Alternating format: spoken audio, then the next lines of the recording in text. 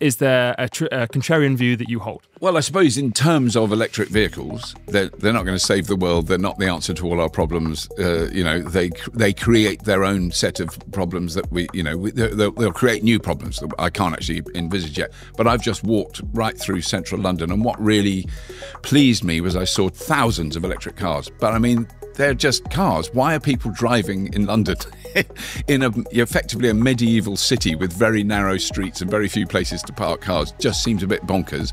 And when you go to cities that have gone to the next level, so Utrecht in the Netherlands, very uh, glowing example you know, car use has dropped to almost nothing. You still can own a car if you live in Utrecht, but you have to pay a lot and it's a real pain in the ass.